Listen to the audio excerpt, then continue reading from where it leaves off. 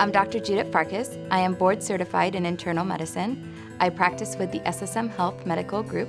I completed medical school at Semmelweis University in Budapest, Hungary, and I completed my residency at SSM Health St. Mary's Hospital. I see adults over the age of 18 in my office, and I see them for a very broad range of things. So I can see adults basically just for regular checkups once a year, just for screening, check in, how are you doing, I'm great. Or I can see them if they have chronic medical problems like high blood pressure, diabetes, then I see them and follow them along for that.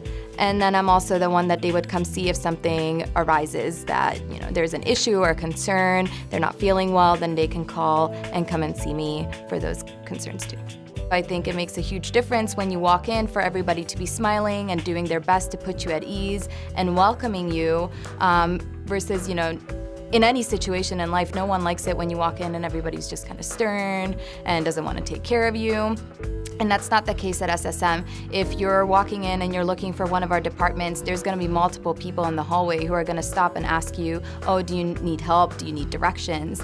Um, and I think both for the patients who are coming for care and for their family members, if they're coming in and they're seeing that, you know, everybody here truly does care about my family member, it puts you at ease as far as the care that they're getting. And not just the medical care, but making sure that everybody really is comfortable and really is treated with the respect that they should get. Building a relationship with a patient is kind of like any other relationship. It doesn't happen in a single visit. I think, you know, even from a patient perspective myself, the first time I go see a physician, I'm definitely kind of getting a sense of how much are they going to listen to me, how pushy are they on what they want to do, are they going to ask me what I want to do. And I think as long as you're constantly asking yourself what you would want as a patient, you're going to really kind of put yourself out there to do the best for your patients from a physician's perspective. I want my patients to know that if they call me because they woke up that morning and they're feeling absolutely terrible, that I will do my absolute best to see them that day or the next day in the office, um, and that it won't be someone else, it'll be someone that they know and someone that they trust.